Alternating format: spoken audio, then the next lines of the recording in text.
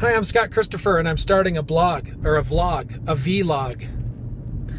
I'm just gonna, you know, I don't know if I'll do it every single day, but I'll just take you along with me as I have my adventures.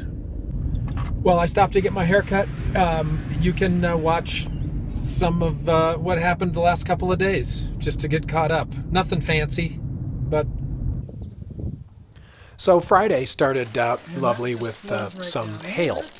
And I mean tons and tons of hail. Very, very cold rain that fell. And uh, I had to take a wet dry vac and put it out in the overflow drain in the lawn because it was backing up our gutters, which we paid like $1,500 for last year. So this wouldn't happen. And here you see it clearly happening.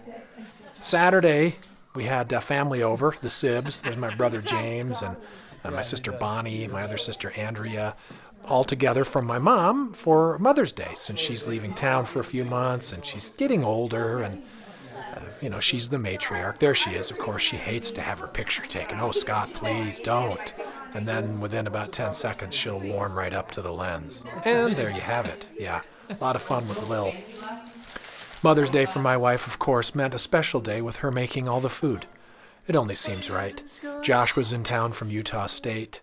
Uh, my 13 year old John there getting a lot taller as we set the table. And Liz, of course, put all the chicken on the grill while I was doing something else and letting it burn. But it tasted really rather good. Josh breaking out the guitar, he and John serenading Liz with songs from Flight of the Conchords. Classy stuff, naturally. Our dog doesn't like it when his mistress is being sandwiched by other people. She is, after all, his mistress, and that's a sacred relationship. Or dirty, but not in this case. And to clean things up, uh, to finish off our Mother's Day, we spent some time on Skype with my missionary son who's in Vancouver and my son on the left who is in Salt Lake but was sick and sneezing the entire time, blowing his nose, sniffling. It was fun. That's kind of a payday on Mother's Day. This morning I got up at the crack of dawn, and this almost catches you up. Up and at 'em early, baby. Just gotta. I've got to lose. I, I don't have to lose tons of weight, but I mean, I lost all this weight over the last month or so, and you know, it's starting to creep back. So I gotta.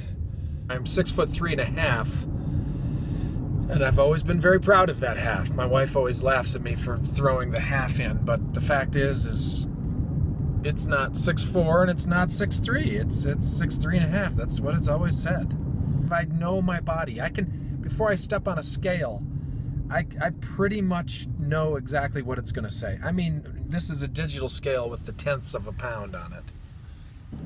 And my plan is to be a guy that's, you know, basically 6'3", 210. 6'3 and a half. I got to get back to eating better. So this week it's all eating good and uh, and just, you know, an hour on a bike.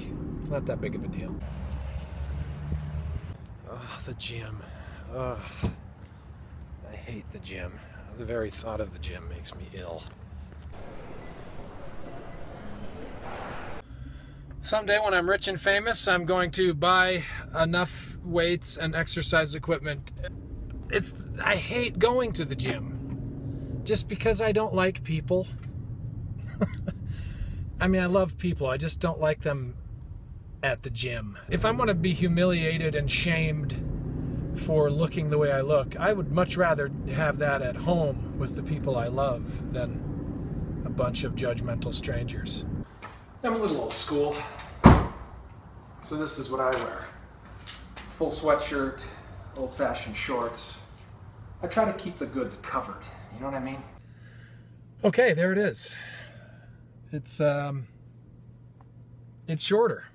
I have less hair. Pretty exciting stuff, I know. Yeah. And uh, but I'll keep you posted on what's going on in my professional life because that's really the magic, you know. All the movies, the TV shows, all the voice work. It's uh I mean, you you literally have to have, I think, by definition, no life whatsoever to find any of this at all exciting or watchable. And God bless you for it.